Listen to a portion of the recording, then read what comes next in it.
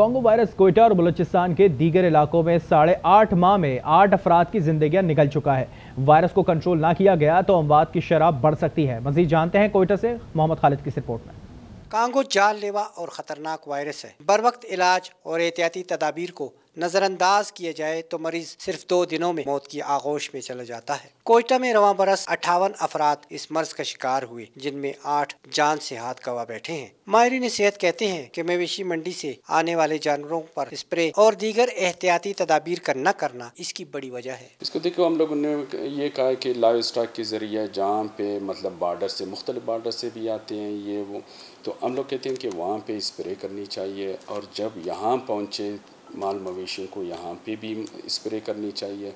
और दूसरी बात ये कि इनको तदाबी हम लोग ये कहते हैं कि ख़ास कर जो वहाँ पे पीढ़ी पे जाए तो कम से कम गल्लाज लॉन्ग शूज़ वगैरह या मास्क वगैरह इस्तेमाल करें। कोयटा के शहरी कहते हैं कि खतरनाक वायरस को कंट्रोल करना हुकूमती ज़िम्मेदारी है लेकिन बर वक्त इकदाम की बजाय वबाई अमराज के बढ़ने का इंतज़ार करने का रुझान अफसोसनाक है। आठ लोगों का मरना एक अलमे से कम नहीं है उसके बावजूद भी आपके पास इकदाम नज़र नहीं आते, कहीं भी अस्पतालों में आप जाओ, सफ़ाई की कोई इंतज़ाम नहीं है।